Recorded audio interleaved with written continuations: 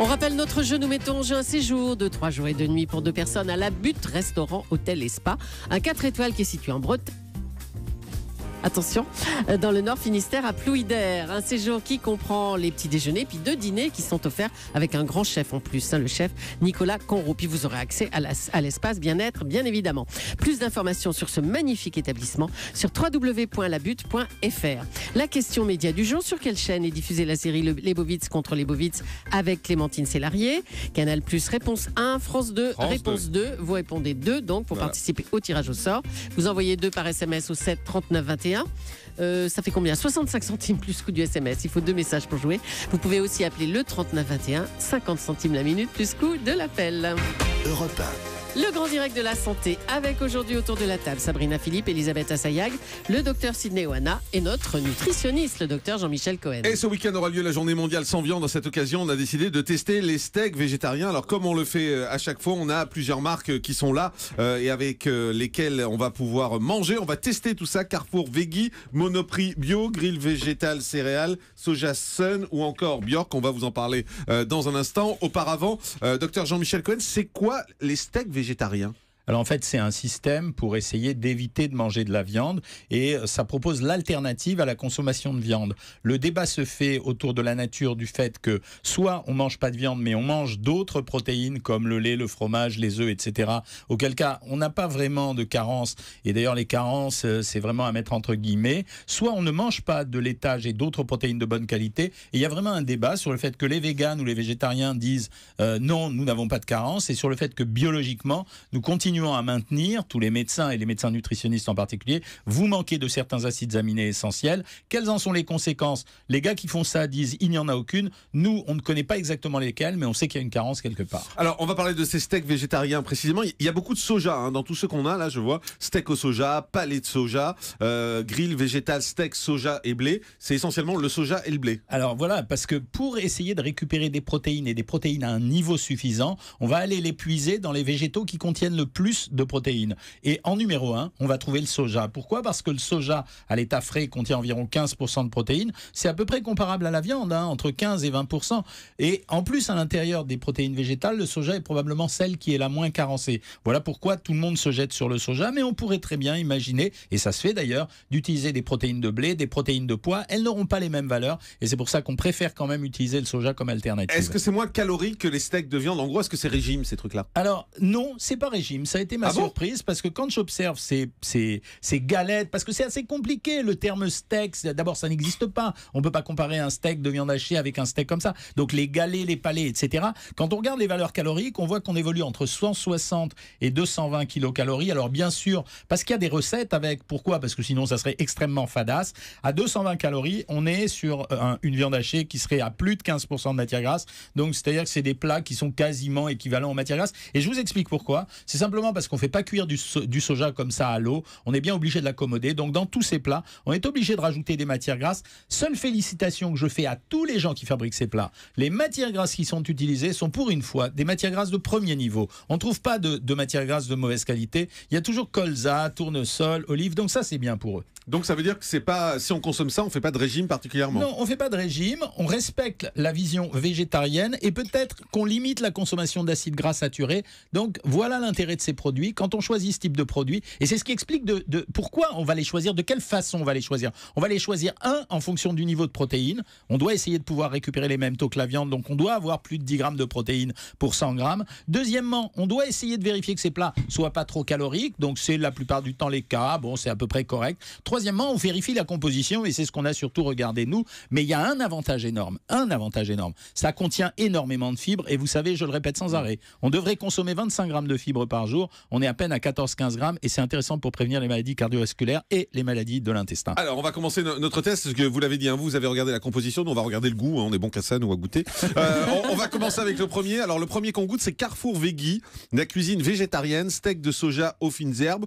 Au goût, on va dire c'est correct, c'est pas exceptionnel, mais au goût c'est correct. Alors si au goût c'est correct, tant mieux parce qu'on ne sait pas trop ce qu'on mange en fait. Voilà, ah. c'est Mais le soja, c'est un peu fade quand même. Ouais, c'est hein. ça, c'est un peu ce que fadasse. je vous quoi. disais. Alors, la composition de ce produit, elle est intéressante parce que c'est pas un produit qui est bricolé. Moi, euh, je l'ai même placé nutritionnellement en valeur numéro 1 Ah, parce que le produit, il est fait avec de l'eau, de la protéine de soja déshydratée. Ils ont utilisé du soja déshydraté, ils l'ont recomposé avec de la flotte. Mais derrière, il y a des carottes, des haricots mange-tout, de l'huile de tournesol, de la purée de tomate, Ah du oui, a- concentré du jus de légumes. C'est un joli produit. Il n'y a sur pas le que plan- du soja en fait. mais non, mais c'est un joli produit. Il y a quand même beaucoup de soja parce que il est déshydraté, donc on doit arriver grosso modo à 70-75% de soja. En termes de protéines, il y a 16 grammes de protéines.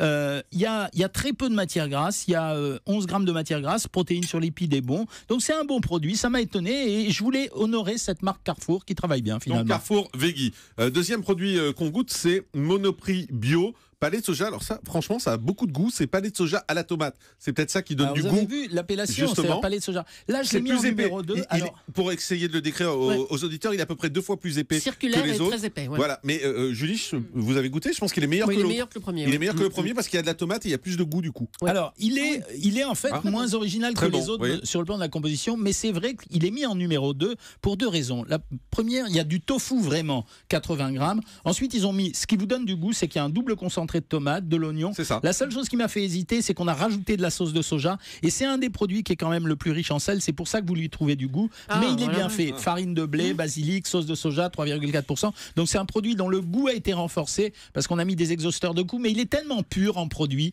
tellement simple que Pur vraiment pur, ça veut dire il Eh, est purement fait. Il est fait avec du bon produit qui valait le coup d'être mis en numéro 2. On honorait Carrefour d'avoir travaillé sur un produit intelligent. On honore ces gens-là d'avoir travaillé avec des produits tout simples et, et faciles. Vous en pensez quoi, Ah, le moi, je les trouve, filles moi, je trouve très très bon. Il y a Ouais. un petit goût, c'est vrai, il est un petit peu plus salé que l'autre, mais il est vraiment très bon. hein. Voilà. Alors on passe au suivant, c'est céréales, grill végétal, steak de soja et blé. Moi je viens de goûter. Alors c'est celui qui se rapproche le plus de la viande dans le goût. Oui, alors c'est pour ça, que- c'est pour ça en général. Ah alors oui. c'est assez difficile Ah, de les on a classer ces produits. Franchement, les yeux fermés, on pourrait On penser qu'on c'est de la mange de la viande. Alors, c'est ce que j'ai aimé dans ce produit céréales. Ça veut dire que c'était celui chez céréales, c'est celui qui donnait le plus l'impression de remplacer la viande par autre chose. Exactement. Sauf la difficulté, et là où j'avais mis un bémol, alors sur le plan nutritionnel, c'est également le mieux composé. Ça veut dire le moins calorique, 165 kilocalories, 8,5% de matière grasse pour 17 grammes de protéines. Donc vraiment, il ressemble à de la viande Alors, en termes de composition Sans nutritionnelle. colorant, sans conservateur, sans huile de palme. C'est vrai. Faible teneur en matière grasse, c'est vrai ça? C'est vrai. La seule chose qui m'a fait hésiter, vous voyez, j'aurais pu le classer en deux ou un. Ah, Parce c'est que le vous l'avez en trois. Oui. Oui, c'est le gluten de blé qui m'a dérangé. Parce qu'ils ont été obligés d'agglomérer le produit avec du gluten de blé. Or, si on prend un steak végétal, a priori, il y a plein de gens qui mangent sans gluten aujourd'hui. Il aurait mieux valu mettre du gluten de, de- euh, mettre autre chose que du gluten de blé. Alors, ils ont peut-être pas voulu mettre un gélifiant. Et la deuxième chose qui m'a un peu dérangé, c'est qu'ils aient rajouté des fibres de soja. Je leur poserai la question pourquoi? Sinon, le produit, c'est le seul qui ressemblait à de la Ah ouais, viande vraiment. et la plus belle composition nutritionnelle. Maintenant, je l'ai mis en numéro 3 parce qu'il n'avait pas d'originalité particulière, donc c'est de la viande sans être de la viande. Mais j'ai hésité vraiment entre le Mais mettre c'est en quelle 1, 2 ou marque 3. C'est quelle marque C'est Ça, Céréales, c'est ça. céréales. Céréales. Et ils ont une deuxième marque que j'ai pas inventoriée qui s'appelle Céréales Bio. Peut-être que j'aurais Ouais. dû essayer de la voir. Mais euh, ce, qui est, ce qui est étonnant, c'est quand on mange le, le deuxième, euh, c'était euh, c'était les, les monoprix bio. Euh, le deuxième, on a vraiment le sentiment de manger du- des légumes Mhm. et, et c'est bon. Et là, on se dit, mais voilà, c'est quoi en fait? Et c'est ça le problème de ces, de ces produits, c'est qu'il y a une grande confusion entre palais, galets, steaks végétaux, etc. Il faut vous dire que vous achetez des galettes végétales. Peut-être que le produit de chez Céréales est celui qui ressemble le plus à la viande. Après, les autres produits, c'est une affaire de goût. C'est pour ça que votre test est extrêmement important Alors, à mes yeux. Soja Sun, deux steaks de soja, tomate, basilic. On sent beaucoup la tomate, mais le, deux- le deuxième, le, le monoprix reste mon préféré malgré tout. Ouais, alors là, j'étais vachement déçu par ce produit. C'est un peu sec, c'est un peu. C'est sec et je vais vous expliquer pourquoi. C'est parce que dans ce produit, la, la composition c'était tomate en 1, 26%, farine protéique de soja, j'aime pas ce terme. Farine protéique de soja, c'est une composition, je veux dire, ça fait alchimiste. Après, il y avait de l'eau, du jus de soja cette fois-ci, ensuite euh, un gélifiant, ensuite des fibres végétales. Donc on est. pff, Soja Sun est une belle marque habituellement. Là, je Ouais, comprends pas ce qu'ils font. ça Là, je comprends pas ce qu'ils font. Le produit, il ressemble pas à un steak, il ressemble pas à un palais. Non, c'est un peu n'importe quoi. Euh, les matières grasses, euh, 8 grammes, protéines 16 grammes, c'est correct. Les fibres, 8 grammes, c'est correct. Le produit nutritionnellement, il est bien, mais la composition, les, les Soja Sun, changez un peu le produit et vous serez mieux classé la prochaine marque, fois. Au, au goût, Elisabeth? Non, très moyen.